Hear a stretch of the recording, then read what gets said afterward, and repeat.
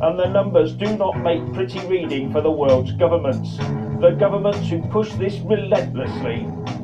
And one contract about supplies between Israel and a major pharma company talks about the government acknowledging that the supplier's efforts to develop and manufacture the procedure are aspirational in nature and subject to significant risks and uncertainties.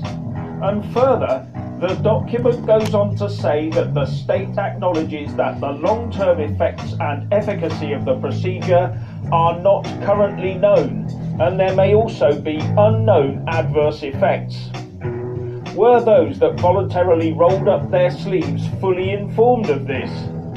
And worse, did those that were forced to take it by law therefore really give their proper informed consent?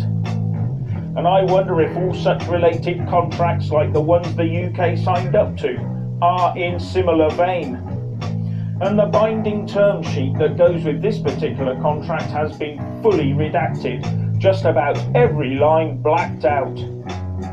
Now, new research shows that the use of one variant of the procedure increases the risk of a miscarriage by 57 times and of a still or fetal death by 38 times.